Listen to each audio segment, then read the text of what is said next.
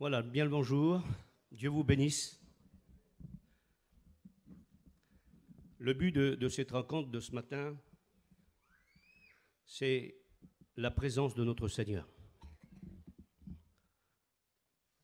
C'est l'apôtre Pierre qui disait ces paroles au chapitre 17 de Matthieu, versets 4 à 5.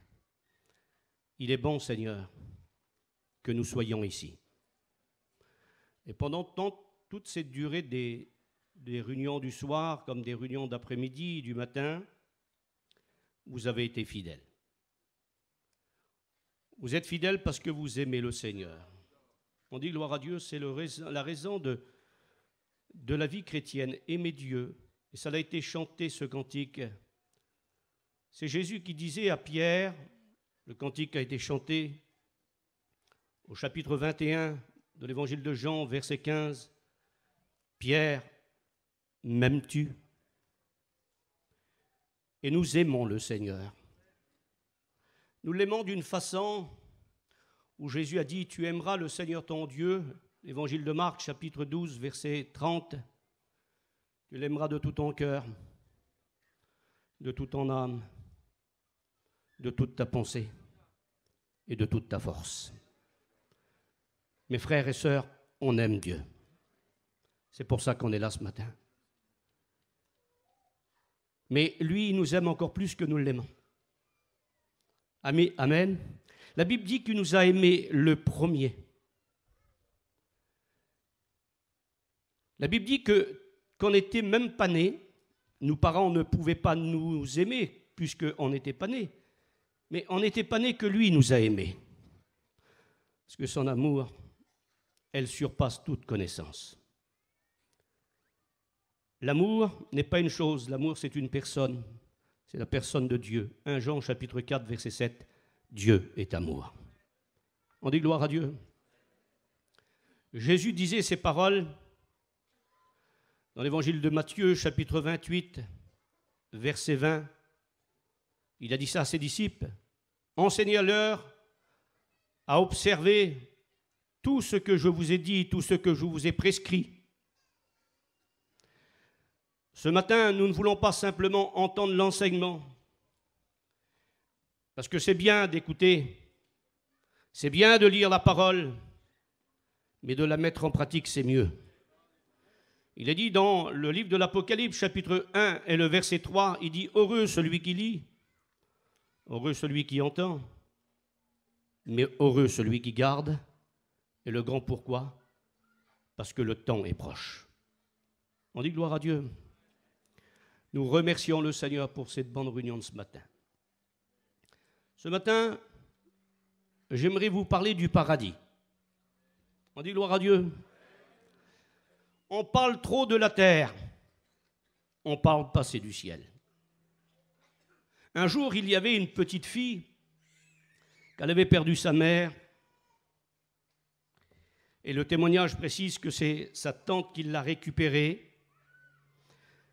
Et la petite fille voulait toujours, toujours rentrer à sa maison. Et elle disait sur sa tante, ma tante, ramène-moi chez moi. Et la tante, au bout de quelque temps, elle l'a chez elle. Et le témoignage précise que lorsqu'elle a rentré dans la maison, elle a couru dans le salon et elle a crié après sa mère. Elle a dit Ma mère, ma mère, maman, maman. Mais sa maman n'était plus là. Elle a couru dans la cuisine, elle a crié aussi Maman, maman, et elle n'était plus là. Elle est venue dans sa chambre et elle a crié Maman, et sa maman n'était plus là. Elle a dit sur sa tante Je ne veux plus rester dans cette maison. Sa maison sans sa maman, n'était plus sa maison. J'aimerais vous dire ce matin, le ciel, sans Jésus, n'aurait pas sa raison d'être. C'est lui le ciel. On dit gloire à Dieu. Merci à Dieu pour la nouvelle Jérusalem. La Bible dit que ses pavés sont d'or, que ses portes sont de perles. Mais ce n'est pas l'endroit mais c'est la personne. C'est la personne de Jésus-Christ. On dit gloire à Dieu. Alors ce matin, je voudrais, sans prétention, je voudrais déjà remercier le frère Josué qui m'a laissé la place, membre du, conseil. Et je voudrais maintenant que nous lisons des textes dans la parole de Dieu. Un chanteur a dit un jour, nous irons tous au paradis. Je voudrais dire que ceux qui iront au paradis, ce sont ceux que leur nom est inscrit dans le livre de vie. On dit gloire à Dieu. Et pour avoir son nom inscrit dans le livre de vie, il faut passer par la nouvelle naissance. Il faut, être, né de nouveau. On dit gloire à Dieu. Jésus avait dit à Nicodème dans l'évangile de Jean chapitre 3, Nicodème, si tu veux voir le royaume de Dieu, il faut que tu naisses de nouveau. Et cette nouvelle naissance n'est pas la part de l'homme, mais la part de Dieu, la part de Jésus et la part du Saint-Esprit. Mais pour venir à cette nouvelle naissance, il faut passer par la foi. La foi, la Bible dit dans Romains chapitre 10, verset 17, que la foi, elle vient de ce qu'on entend, et ce qu'on entend vient de la parole de Dieu. Et la foi nous poussera à une repentance. La repentance, c'est de demander pardon à Dieu pour tout ce qu'on a fait, pour le mal qu'on a fait. Et lorsqu'on s'est repenti, lorsqu'on a demandé pardon à Dieu, parce qu'on a besoin, vous avez besoin peut-être des personnes qui n'appartiennent pas encore à Dieu, tu as besoin de demander pardon à Dieu, parce que ton péché te prive de la gloire de Dieu. La Bible dit que le péché te cache de la face de Dieu, ce qui met une séparation entre Dieu et l'homme. La Bible dit dans Ésaïe chapitre 59 verset 2, c'est sans péché. Mais tu peux te repentir. Et lorsque tu demandes pardon à Dieu, alors c'est ce beau verset de la Bible, 1 Jean chapitre 1 verset 7, le sang de Jésus te purifie de tout péché. On dit gloire à Dieu.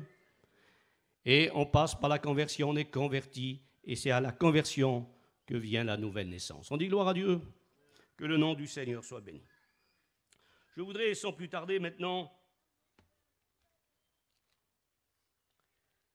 c'est avec beaucoup d'honneur que je, prêche ce matin, je vous le dis de la part du Seigneur, j'avais sur mon cœur un grand privilège d'apporter une note, mais je ne vous le cache pas, je regardais un petit peu et je, savais qu'est-ce que je devais prêcher. Et puis, euh, voilà, ça, c'est comme ça. Le message a changé. Mais la parole, elle reste toujours la même. Amen. J'ai voulu parler ce matin, je voudrais vous parler du paradis.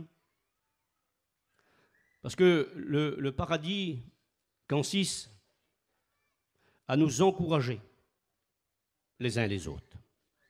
On dit gloire à Dieu lorsqu'on parle du paradis, c'est tout de suite l'encouragement.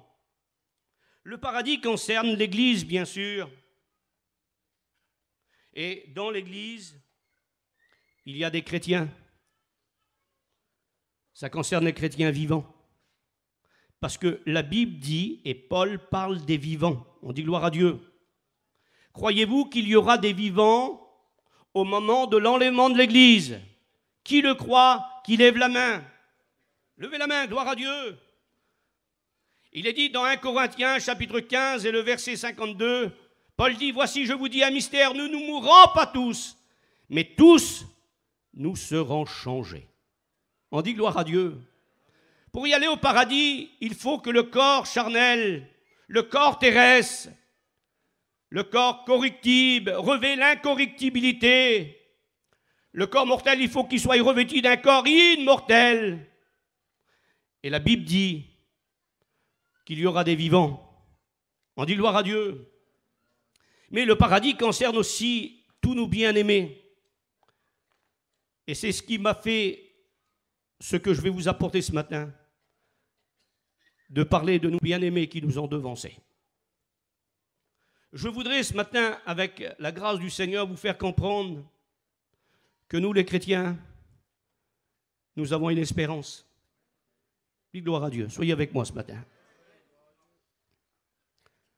L'espérance, elle ne trempe point. Car Dieu a déversé dans nos cœurs, Romains chapitre 5, verset 5, il a déversé dans mon cœur, dans ton cœur, tout son amour par le Saint-Esprit. Et cette espérance, elle ne trempe pas. L'espérance de la gloire. Alléluia. Il y a trois choses qui demeurent. Écrit dans 1 Corinthiens chapitre 13 et le verset 13, c'est la foi, l'espérance et l'amour. Mais la plus grande de ces choses, c'est l'amour. On dit gloire à Dieu.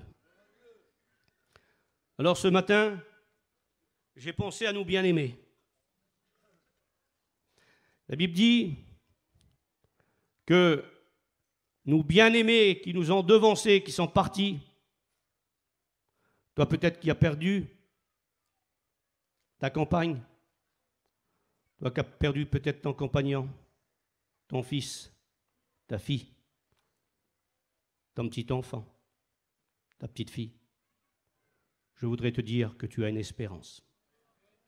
Paul disait dans 1 Corinthiens et euh, aussi dans 1 Thessaloniciens au chapitre 4 et le verset 13, Frères, ça s'adresse à nous. Je ne veux pas que vous soyez dans l'ignorance au sujet de ceux qui dorment, au sujet de ceux qui sont décédés. Nous avons une espérance. On dit gloire à Dieu. Nous ne sommes pas ignorants de cela, car la Bible dit concernant nous bien-aimés, et concernant l'Église qui est vivant, et je crois de tout mon cœur, il n'y a aucun homme, aucun homme qui peut se, se, permettre de donner une date concernant le retour de Jésus. Il y a le fondateur des témoins de Jéhovah qu'on appelle Charles Roussel. Il s'est permis de donner une date au retour de Jésus. En 1914, il a dit que le Christ allait revenir. Et lorsqu'il a vu que le Christ n'était pas revenu, il a dit, le Christ est venu en esprit. Nous sommes ses témoins, nous allons préparer le royaume, nous allons préparer le paradis sur la terre.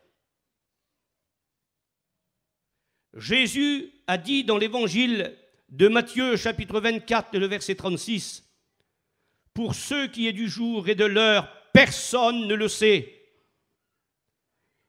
ni les anges, ni le Fils, mais le Père seul. Le texte littéral dit, parce que Jésus ne le savait pas en tant qu'homme, pour ceux qui est du jour et de l'heure, personne ne le sait, ni les anges, ni le Fils en tant qu'homme.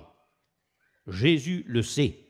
En tant qu'homme, il ne le savait pas, mais en tant que divin, il le sait. On dit gloire à Dieu, dites gloire à Dieu. Le paradis, je ne vais pas vous parler dans l'Ancien Testament, mais on va s'adresser dans le Nouveau Testament. Si vous prenez la Bible, parce que je voudrais vous dire de la part du Seigneur, que au moment du retour de Jésus, ça va être l'un des plus beaux événements qui va se réaliser. Nous ne connaissons pas la date, mais tout est synchronisé dans la Bible.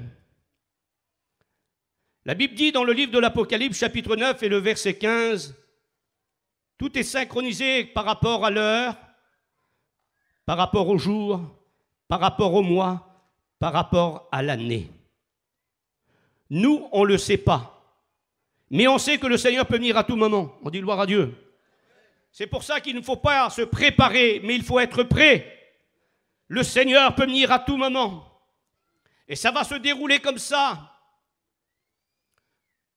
Parce que j'ai marqué ici, et je voudrais maintenant vous donner, je ne sais pas si on va voir tout ce que j'ai marqué. De toute façon, ce que ce que je ne pourrai pas tout vous dire, vous pourrez continuer à le voir dans la parole de Dieu et que le nom du Seigneur soit béni. Alors j'ai marqué ici,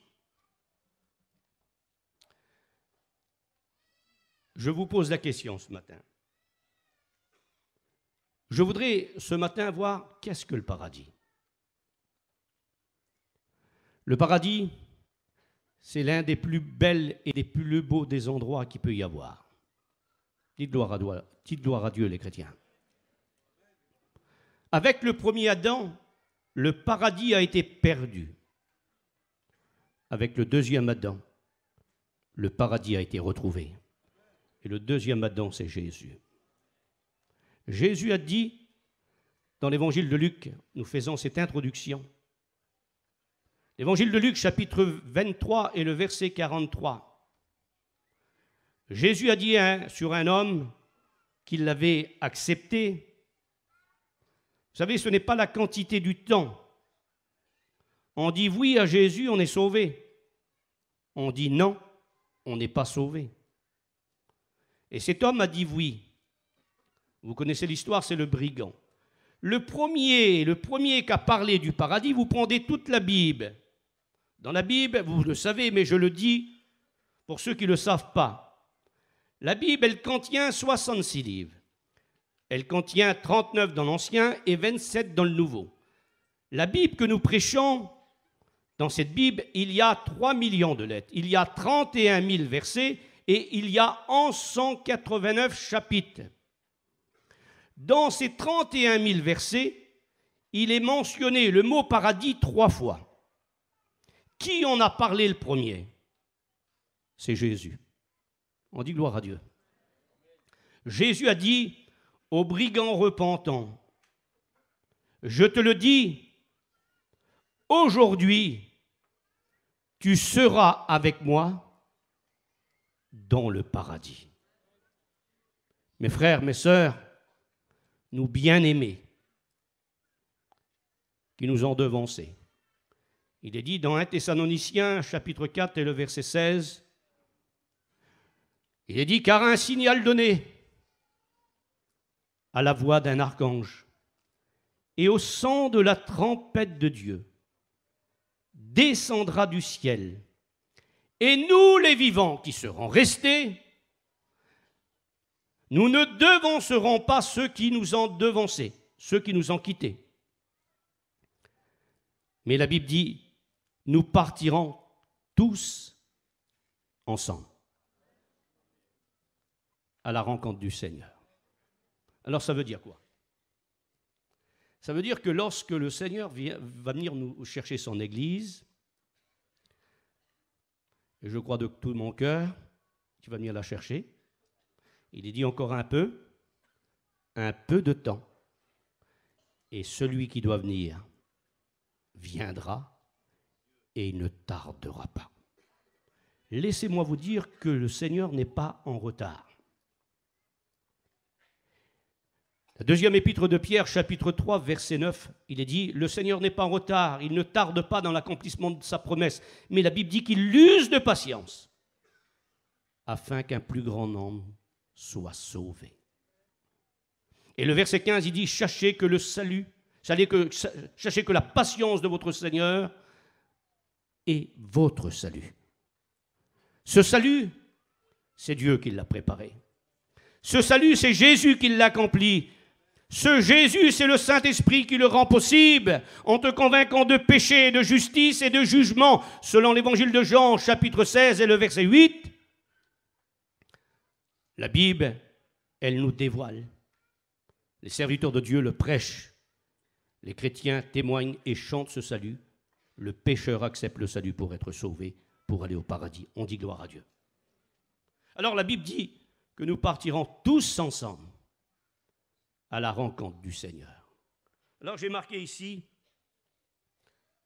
qu'est-ce que le paradis? Où se trouve le paradis?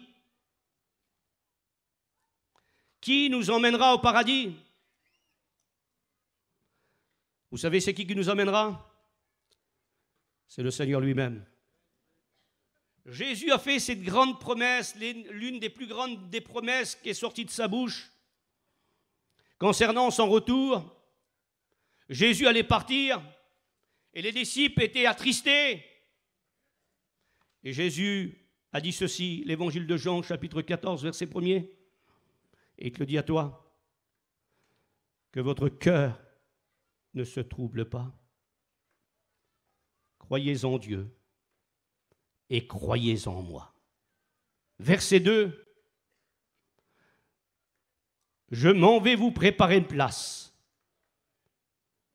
Et lorsque cette place serait prête, verset 3, je reviendrai vous chercher, afin que là où je suis, je veux que vous y soyez aussi. On dit gloire à Dieu. Alors je ne veux pas être gênant, mais imaginons-nous ce matin. Le Seigneur revient et d'un seul coup, l'Église, elle part à la rencontre du Seigneur. La Bible dit que nous partirons à la rencontre du Seigneur dans les airs, au-delà des, des nuées, pour rencontrer le Seigneur. Mais en rencontrant le Seigneur, nous rencontrons nos bien-aimés. On dit gloire à Dieu. Et c'est tellement, c'est tellement parfait, c'est tellement grand, parce que tout ce que le Seigneur fait est parfait. Et ce matin, je ne veux pas tout mélanger, mais nous allons voir aussi comment serons-nous au paradis. Avec quel corps nous irons au paradis?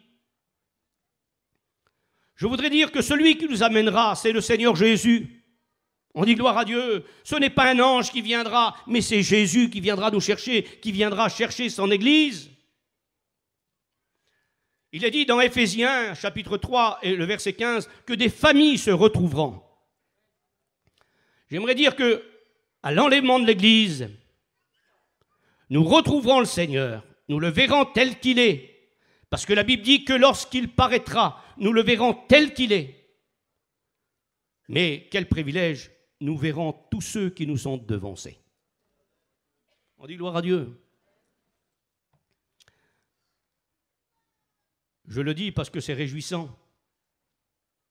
Tous ceux qui sont morts en Christ, je dis bien tous ceux qui sont morts en Christ, nous les reverrons.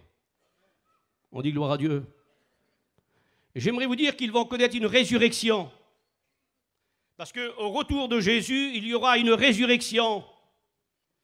Et ce n'est pas la résurrection, il y a, la résurrection, excusez-moi, mais je le dis, il y a la, résurrection Ekirouk et la résurrection Anastasia. La résurrection Ekirouk, c'est ressusciter à l'exemple de Lazare, de la fille de Jairus et du fils de la veuve de Naïm. Ils ont ressuscité, mais pour remourir, pour reconnaître la mort. Nous bien-aimés, à l'enlèvement de l'Église, ils vont ressusciter, mais ne connaîtront plus jamais la mort. Dis gloire à Dieu les chrétiens. Parce que c'est la résurrection Anastasia, c'est ressusciter pour ne plus, plus jamais mourir. Et la Bible dit que nous partirons à la rencontre du Seigneur ensemble. Alors, ça se fera comme ça, parce que ce ne serait pas le ciel en son ça. Mais tu regarderas et tu verras ta compagne auprès de toi partir à la rencontre du Seigneur. Ton fils que tu as perdu, tu le verras et tu partiras avec lui à la rencontre du Seigneur. Dites gloire à Dieu. Alors concernant se reconnaître, il y en a beaucoup qui se posent la question, est-ce qu'on se reconnaîtra dans le ciel? Bien sûr qu'on se reconnaîtra. Bien sûr qu'on se reconnaîtra. Il est dit dans l'évangile de Luc, chapitre 16, et le verset que vous connaissez, verset 19, et vous continuez la lecture, lorsque Lazare est mort, quel privilège, Seigneur. Lorsqu'un chrétien meurt, lorsque nous bien-aimés ferme les yeux ici-bas.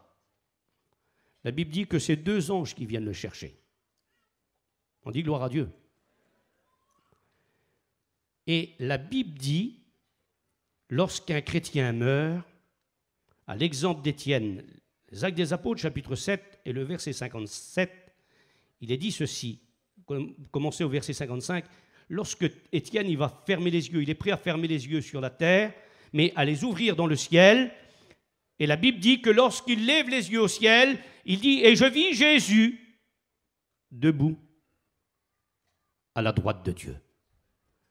J'aimerais vous dire que nous, bien-aimés, lorsqu'ils ont fermé les yeux ici-bas sur la terre, ils ont le privilège d'aller tout de suite auprès du Seigneur. On dit gloire à Dieu. Paul dit de son côté, c'est la deuxième mention, c'est l'apôtre Paul qui n'en parle dans le livre de l'Apocalypse chapitre 2 verset 7. Il dit à celui qui vaincra, je donnerai à manger de l'arbre de la vie qui est dans le paradis. J'aimerais vous dire que pour aller au paradis, il faut être des vainqueurs. On dit gloire à Dieu. Et nous sommes des vainqueurs. Vainqueurs sur le péché, Parce que la Bible dit que celui qui est né de nouveau triomphe sur le péché. Nous sommes aussi vainqueurs sur les séductions. Nous sommes vainqueurs sur le monde. Jésus disait dans l'évangile de Jean, chapitre 16 et le verset 33, Prends courage, car j'ai vaincu le monde.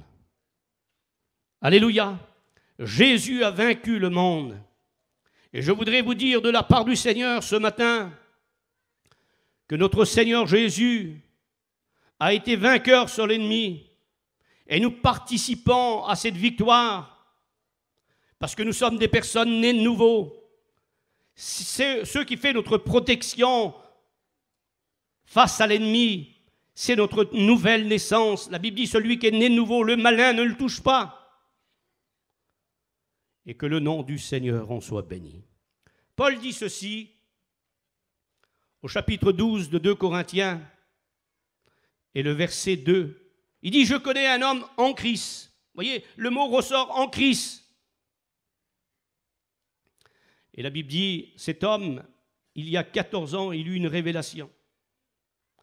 Comme quoi qu'il ne faut pas trop se précipiter lorsqu'on on a une vision ou une révélation. Venez trouver les serviteurs de Dieu, expliquez d'abord aux serviteurs de Dieu.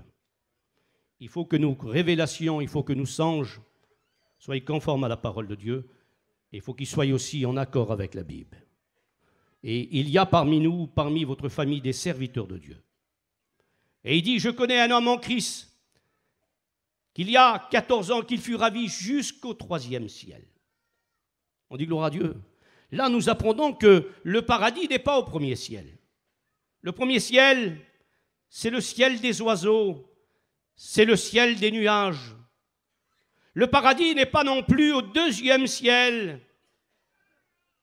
C'est le ciel où se trouvent la lune, les étoiles et le soleil. Mais la Bible dit au troisième ciel. C'est la demeure de Dieu. C'est là où Jésus a dit, il y a plusieurs demeures dans la maison de mon Père. Le texte littéral, il y a de la place dans la maison de mon Père. Ici, je pensais à la convention, Tarzan on s'est pressé un petit peu pour avoir un petit bout de place. Hein. J'aimerais vous dire que là-bas, tu n'auras pas besoin de marquer ta place, parce que ce n'est pas la terre, c'est le ciel. On dit gloire à Dieu. Il y aura de la place pour tous les enfants de Dieu. Alors il dit, il y a 14 ans, et il explique sa révélation, sa vision. Il dit, je fus, je ne sais pas si c'est dans mon corps ou en dehors de mon corps, mais il dit, je fus enlevé, le verset 4 de 2 Corinthiens chapitre 12, je fus enlevé au paradis. Et là, il dit, un homme de doctrine, un homme qui a parlé de la doctrine du retour de Jésus, qui a parlé du mariage dans 1 Corinthiens chapitre 7, un homme qui a parlé de la Sainte Seine, 1 Corinthiens chapitre 11, verset 23, un homme qui a parlé pratiquement de toutes les grandes doctrines, et là, face au paradis, face au ciel, il est limité. Il dit, j'ai entendu des choses, des choses qu'on ne peut pas expliquer, tellement que c'est beau. On dit gloire à Dieu. Il a entendu des choses ineffables que humainement on ne peut pas expliquer. Mes frères, mes sœurs, ça vaut le coup qu'on continue. Amen. Ça vaut le coup de se détacher des choses de la terre pour s'attacher aux choses d'en haut. C'est Paul qui disait aux Colossiens, attachez-vous aux choses d'en haut et non à celles qui sont sur la terre. Mes frères, mes sœurs, notre domicile à nous n'est pas ici-bas, mais il est en haut. On dit gloire à Dieu. Et que le nom du Seigneur soit béni la même expression, et je fus enlevé. Paul fut enlevé au paradis. Et bientôt l'Église va connaître ce point culminant, ce que l'Église attend depuis 2000 ans, son enlèvement. Ah, quelle beauté que ça va être, Seigneur. L'un des plus grands événements, c'est l'enlèvement de l'Église. C'est lorsque l'Église sera enlevée et qu'elle partira à la rencontre du Seigneur. On dit gloire à Dieu. Alors, avec quel corps Si vous lisez un Corinthiens chapitre 15, il est dit ceci, et le verset 44, que notre corps, puisqu'il est dit qu'on aura un corps changé, le corps sera changé dans un corps de gloire. On dit gloire à Dieu. Un corps glorieux. Un corps immortel. Un corps qui ne connaîtra jamais plus la mort. Un corps qui sera incorruptible, intouchable. Et comme j'ai l'habitude de dire, ton corps ne sera plus sujet à la douleur. Il n'y aura plus de douleur, plus de mal de tête, plus de mal au dos, plus besoin de se faire opérer. Il y en a peut-être qui, attendent des opérations. Peut-être tu as peur, mais dans le paradis, plus besoin d'opération parce qu'on n'aura plus un corps mortel, mais un corps plein de force. Notre corps sera semblable à celle des anges.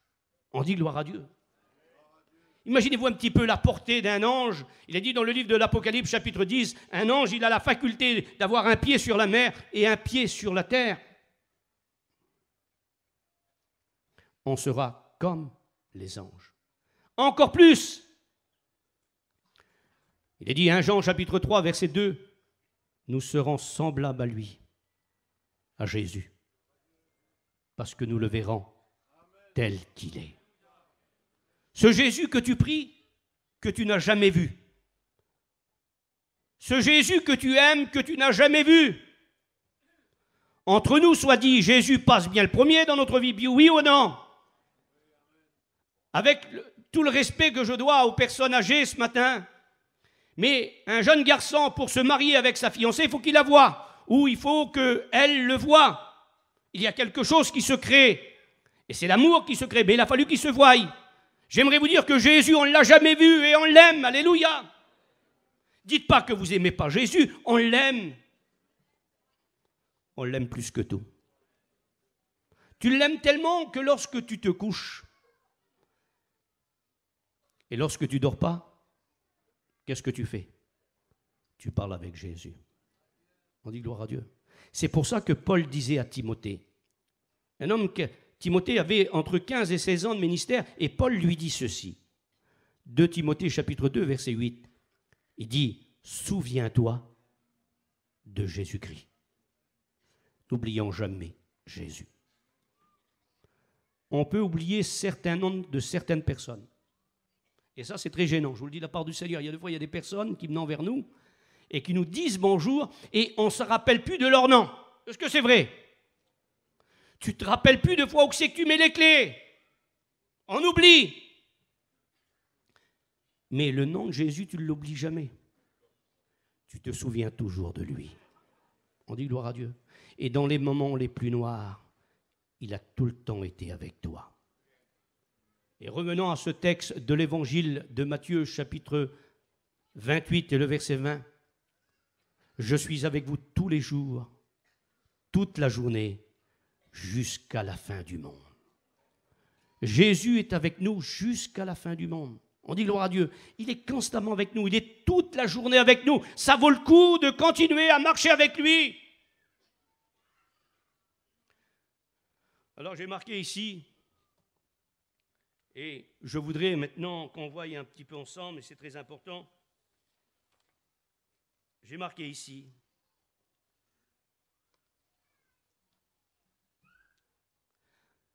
Au paradis, il y aura des choses qui n'existeront plus. Vous dites pas gloire à Dieu. Alors si vous lisez Apocalypse chapitre 21 et le verset 4, il dit ceci, il n'y aura plus de pleurs. Pourquoi? Parce que la Bible dit qu'il essuiera toute larme de nos yeux. Si la terre, elle nous fait pleurer, dans le ciel, il n'y aura plus de pleurs. Bien des personnes, des êtres chers, nous ont, on a pleuré à cause de des êtres chers qu'on a aimés. Mais dans le ciel, dans le paradis, il n'y aura plus de pleurs. On dit gloire à Dieu.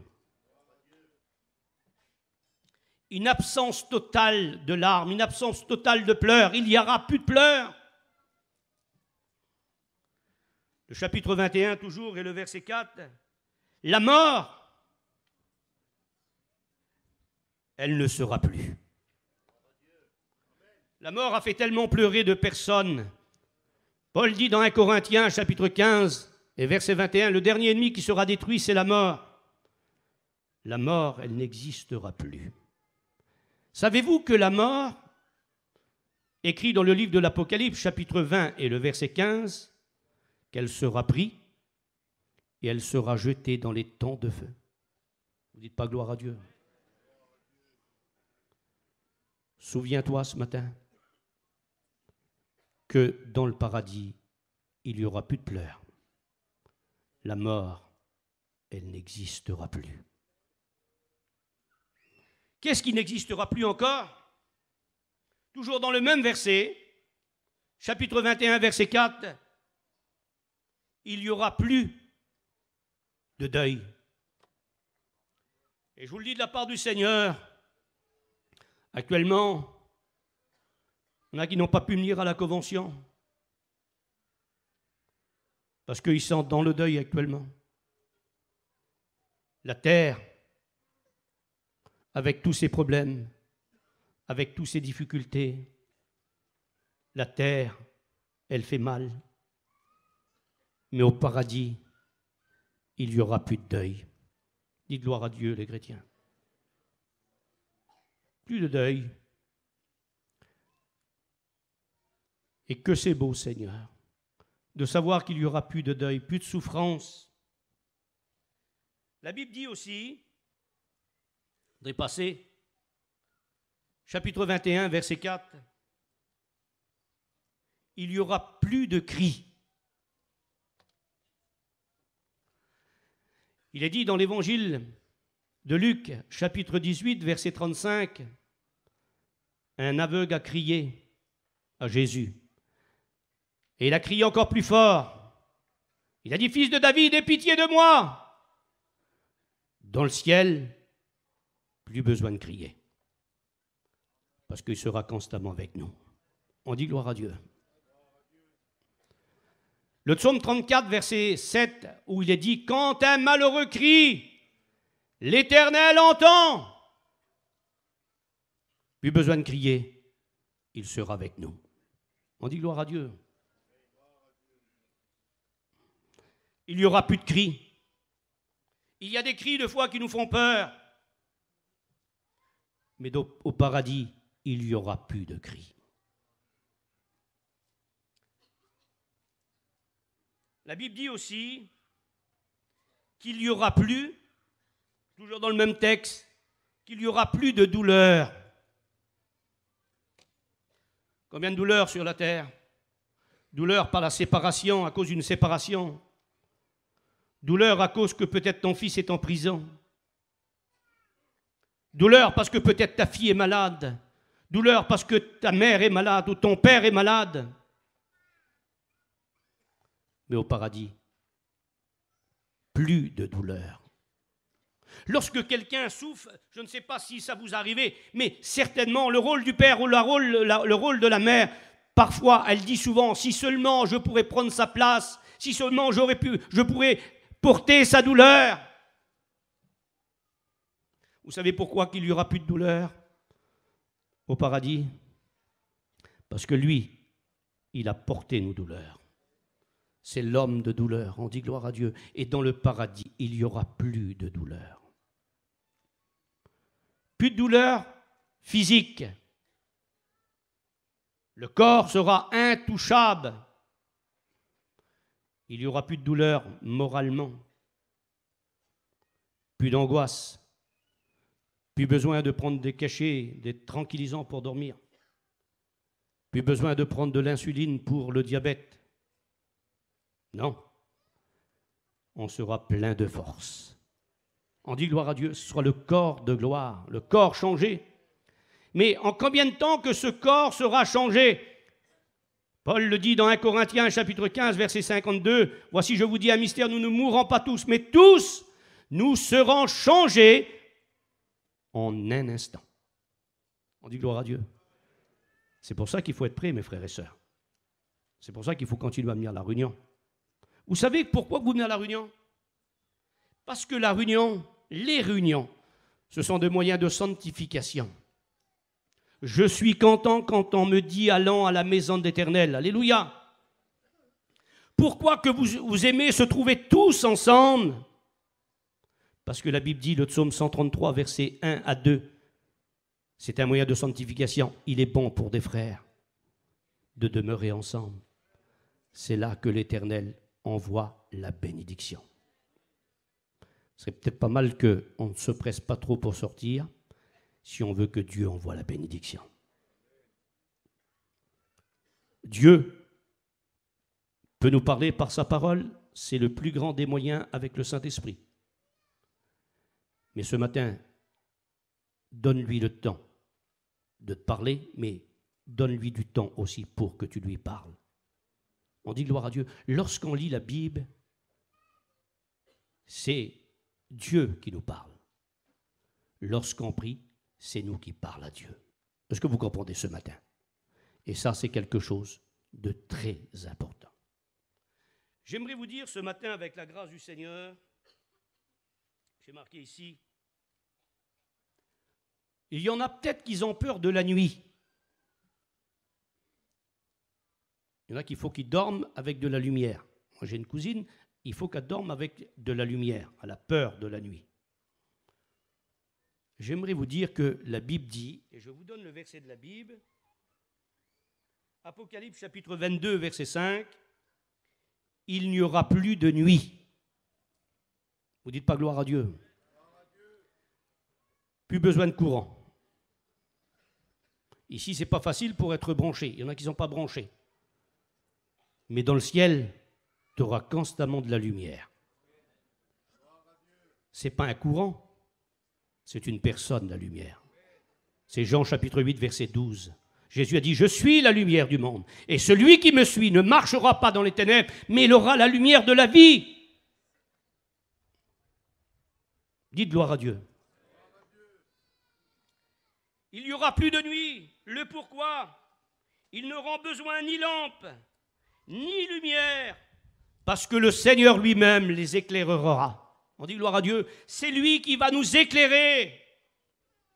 Et que son saint nom soit béni. Mais avant, sur la terre, en tant que chrétien, on est appelé aussi à éclairer nous. Vous savez, écoutez bien, retenez cette note-là. Jésus a dit, vous le connaissez, le texte, je vous l'ai cité, Jean chapitre 8, verset 12. Jésus a dit, je suis la lumière. Est-ce que c'est vrai? Répondez, oui ou non? Par contre, Jean chapitre 12 et le verset 36, il dit, Soyez des enfants de lumière. Il faut que, actuellement, parce que on ne sait pas quand est-ce que le Seigneur va venir pour nous emmener au paradis, parce que c'est lui qui nous amènera. Ce n'est pas une fusée, ce n'est pas un train. Non. Il n'y a aucun moyen humainement qui nous amènera au troisième ciel. Le seul qui nous amènera au paradis, au ciel, au troisième ciel, c'est notre Seigneur Jésus. On dit gloire à Dieu. Ne faites pas attention, c'est du vent. On préfère le vent de l'esprit. On dit gloire à Dieu. Alors écoutez bien. Jésus a dit, soyez des enfants de lumière. Vous savez qu'on ressemble à Jésus? Amen. Alors on a commencé, je ne sais pas si c'est je crois que c'est Jimmy qui a parlé au Tarzan, je ne sais pas, peu importe. Mais ils ont parlé euh, à cette époque, il y avait, il y avait des, des bougies. C'est plus l'époque des bougies maintenant. Mais on a commencé, nous, parce que c'est le Sadhu Sundar Singh qui a dit ceci. Avant que tu sois une étoile dans le firmament, au mal, cet homme a dit Sois une bougie dans ton foyer, dans ta maison. Amen. On a commencé comme ça. On a une petite bougie. Oui, mais la bougie, le moins des petits courants d'air, des coups de vent, elle s'éteint. Alors Jésus dit, lui, vous serez plus. Non, vous n'êtes pas une bougie. Il dit, alors, vous avez grandi, vous êtes quoi? Matthieu chapitre 5 et le verset 13, il dit, vous êtes une lampe. On dit gloire à Dieu. Et il dit, la lampe, on ne la met pas sous la table, mais on la met sur la table. On est des chrétiens, on est appelés à éclairer ceux qui sont autour de nous. Et Jésus va encore plus loin. Avec euh, le Sadhu Sundar Singh, on a une bougie. Mais avec Jésus, on a une lampe. On a une lumière. Et Paul, il dit, vous êtes des flambeaux. Ça, c'est le chrétien costaud, la chrétienne costaud. Celle qui est, elle est mature, elle a grandi dans les choses de Dieu. Elle a, appelé à faire disparaître l'enfantillage. Elle n'est plus au lait, mais elle a nourriture solide. Et lorsque le flambeau est allumé, le vent peut souffler. Il peut tomber de l'eau. Le, le flambeau ne s'éteindra pas. C'est ce que l'Église est. L'Église est un flambeau. On dit gloire à Dieu. Et il y a encore une amélioration. Il est dit dans Daniel chapitre 12, verset 2, ceux qui seront intelligents. L'intelligence, ce n'est pas toujours connaître euh, tout, mais la vraie intelligence, c'est de connaître Dieu. La connaissance de Dieu. Jean chapitre 17, verset 3, c'est cette connaissance-là qui t'amènera au paradis. Jésus a dit, Or la vie éternelle, c'est qu'ils te connaissent, toi, le seul vrai Dieu. C'est une connaissance de Dieu qu'on a besoin. Et il dit, ceux qui seront intelligents, Daniel chapitre 12, verset 2, ils brilleront comme des étoiles. Ma sœur, mon frère, sois une étoile. On n'a pas besoin de toujours parler. Une étoile, elle ne parle pas. Mais plus loin qu'elle est, plus loin qu'on la voit. On dit gloire à Dieu. Alors merci au Seigneur pendant qu'on est sur la terre. On n'est pas encore au paradis. Mais lorsqu'on sera au paradis, avec qui on sera au paradis? Vous voulez le savoir? Au paradis, déjà, on sera avec Dieu le Père. On dit gloire à Dieu. Avec Dieu, oui, Dieu, celui qui nous a tant aimés, celui qui a donné son Fils, celui que personne n'a jamais vu. On verra Dieu, le Père. On dit gloire à Dieu. Avec qui on sera? Avec Jésus. Ce Jésus qui t'a sauvé, ce Jésus qui t'a pardonné, ce Jésus qui t'a purifié ce Jésus qui te fait du bien, ce Jésus qui a changé ta vie, ta vie qui n'était pas belle auparavant. Je dis un petit mot, lorsque vous rendez témoignage, parlez très peu de ce que vous étiez, parlez beaucoup plus de ce que vous êtes, parce que c'est Jésus qui vous a changé. Avec qui on sera au paradis? Avec le Saint-Esprit la troisième personne de la divinité. Ce Saint-Esprit, lorsque tu es faible, il t'aide dans ta faiblesse. Romains chapitre 8, verset 26.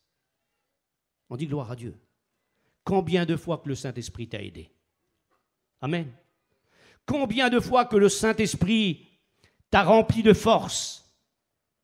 Parce que c'est le Saint-Esprit qui nous remplit de force. Ma sœur, mon frère, tu es une personne d'origine timide. Mais il est dit dans 2 Timothée, chapitre 1, le verset 7, l'Esprit que Dieu nous a donné, le Saint-Esprit, nous rend pas timides, mais nous remplit de force, de sagesse et d'amour. Amen. Auparavant, tu n'avais pas la force de témoigner, tu n'avais pas la force de chanter. Et maintenant, tu chantes pour Dieu, parce que le Saint-Esprit t'a rempli, rempli de force. Tu verras le Saint-Esprit.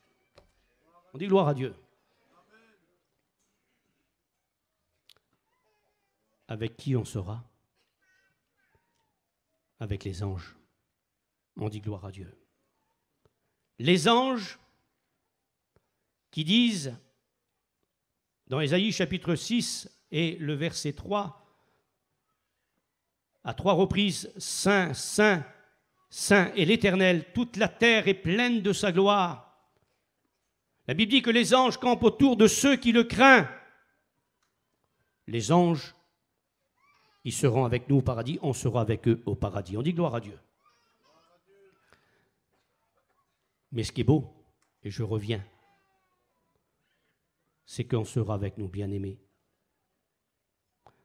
Alors je m'avance ce matin parce que tout sera beau dans le ciel. Tout sera beau.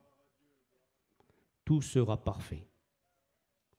Lorsque Lazare, dans Luc chapitre 16 et le verset 22, lorsqu'il est mort, deux ans, j'ai venu le chercher. On l'a dit, très bien. Mais la Bible dit que le mauvais riche, il n'a pas été perdu parce qu'il était riche, il était perdu parce qu'il n'a pas voulu de Jésus. Ce n'est pas la condition qu'on est, c'est le fait de l'accepter qu'on peut être sauvé. Écoutez bien. La Bible dit qu'il a reconnu Abraham. Comment qu'il a su que c'était Abraham? Lorsqu'il a crié Père Abraham, envoie Lazare dans la maison de mon père. Ou fait que Lazare trempe le bout de son doigt dans l'eau qui vient de me rafraîchir la langue? Il l'a reconnu. J'aimerais vous dire que dans le ciel, on se reconnaîtra. Dites gloire à Dieu. Alors, les anciennes choses auront disparu et tout sera nouveau dans le paradis. On dit gloire à Dieu. Et là, on se reconnaîtra et on reconnaîtra nos bien-aimés. Alors c'est peut-être compliqué ce que je vais dire, mais moi, pour moi, ce ne serait pas le ciel si ce ne serait pas comme ça. Mais les petits bébés qui sont partis à la naissance, lorsqu'ils seront avec leurs parents, ils reconnaîtront leurs parents. On dit gloire à Dieu. Les petits-enfants qui n'ont pas eu le privilège de connaître leurs parents sur la terre, ils les reconnaîtront dans le ciel. On dit gloire à Dieu, parce que c'est la perfection. Les petits-enfants qui, qui n'auront pas eu le privilège de connaître leurs grands-parents, le grand-père, la grand-mère, ils les reconnaîtront. On dit gloire à Dieu. Moi, je vous le dis de la part du Seigneur, ça vaut le coup de continuer à marcher avec Dieu. Je le dis, il y en a qui ont passé par la souffrance. Mais à l'âge de 9 ans, j'ai perdu ma mère. Et ma mère, avant de partir, il y a Clément Le Cossec qui est rentré dans sa camping, dans notre camping. Et je dis un message pour les serviteurs de Dieu. Lorsque vous allez voir quelqu'un à l'hôpital, avant de lui, de, de lui imposer les mains pour prier pour lui ou pour elle, présentez-lui le salut. Parce que le salut, c'est plus important que la guérison. Est-ce que vous comprenez? Il est rentré dans la camping de ma mère, il lui a parlé. Et ma mère a accepté le Seigneur. Moi, je l'ai connue, mais elle n'a pas connu ses petits-enfants. À la résurrection, au retour de Jésus, elle reconnaîtra ses petits-enfants. On dit gloire à Dieu. Alors, ça vaut le coup de continuer à marcher avec le Seigneur. On dit gloire à Dieu. Voulez-vous ce matin que nous remercions le Seigneur? Je voudrais ce matin, je vous le dis de la part du Seigneur, nous anciens le disent. Vous avez eu hier à la réunion, Frère Tarzan l'a fait, mais il a eu raison de le faire. Il faut continuer à prier pour nos malades. Et les malades, il faut aussi qu'ils continuent à venir l'imposition des mains. Il ne faut pas qu'on perde nos bonnes habitudes, mes frères et sœurs. Surtout, c'est plus que des habitudes, c'est marqué dans la Bible. Est-ce que vous comprenez? Alors je voudrais ce matin que nous fermons les yeux. On aime le Seigneur, je vous le dis de la part du Seigneur que c'est vrai. Mais on a un peuple, écoutez bien, ce qui est le grand dommage. Je ne voudrais pas que nous ressemblons, je me mets dedans aussi. Dans l'évangile de Jean, chapitre 6, je ne voudrais pas ressembler à ces 5000 personnes. Lorsque Jésus a fait le miracle, Jésus précise, un peu plus loin, ils étaient là pour le pain, pour les pains et les poissons. Vous êtes plus que là pour le pain qui est la parole, mais ensuite ils partaient. Je voudrais ce matin vous demander quelque chose. Est-ce qu'on n'aurait peut-être pas besoin de remercier le Seigneur Est-ce qu'on n'aurait peut-être pas besoin d'attendre un petit peu les annonces Est-ce qu'on n'aurait peut-être pas besoin de dire Seigneur, merci pour ce que j'ai écouté Tu as une blessure dans ton cœur. Et deux fois tu dis, Seigneur, le pasteur ce matin a parlé de ceux qui sont morts en Christ. Et il y en a qui vont dire, mais moi je ne sais pas. J'ai perdu des êtres chers, mais je ne sais pas. Je voudrais te donner un conseil. Plus que tu t'approcheras du Seigneur, plus que le Seigneur, plus que le Seigneur mettra quelque chose de bon dans ton cœur. Parce que nous, on est limité, on ne peut pas tout expliquer. Le ciel, on ne peut pas tout expliquer du ciel. Mais nous, ce qu'on ne peut pas expliquer, plus que tu t'approcheras de lui, plus que le Seigneur, il te parlera, et il te visitera, et il mettra une consolation. Il y a des personnes qui sont parties, écoutez bien,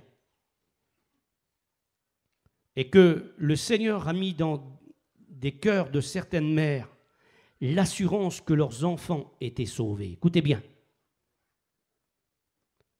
Ben, je voudrais vous dire que le Seigneur est bon, mes frères et sœurs, et qu'il ne faut pas faire 50 choses pour être sauvé. Pour être sauvé, il faut accepter Jésus. On dit gloire à Dieu. Alors, ce matin, je voudrais qu'on se réjouisse. Faire attention le livre de l'Apocalypse dit, il ne rentrera simplement que ceux qui sont inscrits dans le livre de vie. Je te pose la question ce matin. Est-ce que ton nom est inscrit dans le livre de vie? Peut-être il y a des personnes qui, n'appartiennent pas encore à Dieu. Je vous le dis de la part du Seigneur, c'est un grand danger de ne pas avoir actuellement son nom inscrit dans le livre de vie. Il est dit dans le livre de l'Apocalypse chapitre 20 verset 14, Quiconque ne sera pas trouvé écrit dans le livre de vie sera jeté dans les temps de feu, pour que ton nom soit inscrit dans le livre de vie. Accepte Jésus. Un jour, les disciples ont dit, Seigneur, les démons nous sont soumis. Et Jésus dit, ne vous réjouissez pas de ce que les démons vous ont soumis mais réjouissez-vous de ce que votre nom est inscrit dans le livre de vie. On dit gloire à Dieu. Je voudrais que nous fermons nos yeux. J'avais demandé ce matin, mais ça n'a pas pu se faire. Mais si ça pourrait se faire avec le piano, ça peut se faire. Il y a dans le ciel un paradis si merveilleux. C'est qui qui peut le chanter dans la liberté? Un frère qui peut le chanter là? Venez, il y a le frère là. tu peux l'accompagner? Il est où le frère du, Voilà, il est là le frère. Est-ce qu'il y a quelqu'un qui sait chanter ce cantique-là? Et je voudrais, s'il vous plaît, qu'on ferme les yeux et qu'on réfléchit et qu'on pense bien aux privilèges qu'on a. Qui nous amènera au paradis, c'est Jésus. Soyons fidèles, mes frères et sœurs. Marchons encore avec lui. Continuons à l'aimer, parce que notre Seigneur revient bientôt. Les Seigneurs n'est pas en retard, mais il de patience, afin qu'un plus grand nombre soit sauvé. Alors, le frère, oui, Val, chanter. On va le chanter. Et je voudrais que l'Église, s'il vous plaît, chante ce cantique et qu'on remercie le Seigneur parce que nous verrons toutes nos bien-aimés. Ceux qui sont morts en Christ, nous les reverrons. On dit gloire à Dieu.